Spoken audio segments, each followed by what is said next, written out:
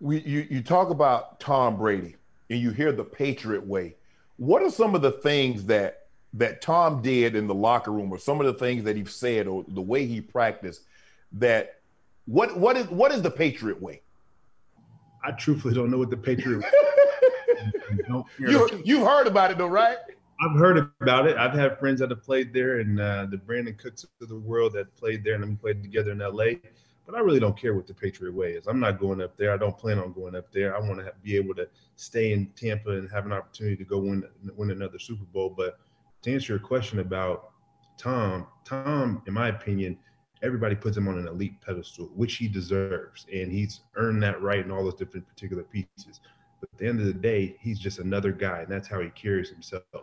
And with that, with him carrying that self, you see he bring his lunch pail just like another man brings his lunch pail into work each and every single day.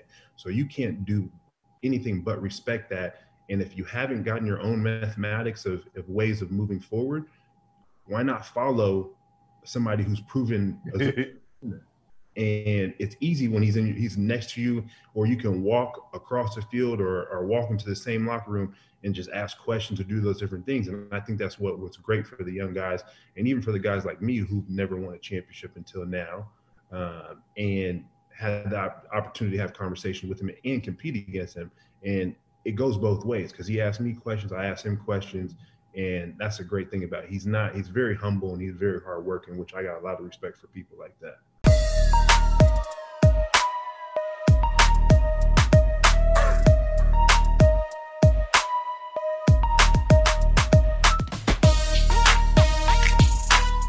You know what to do.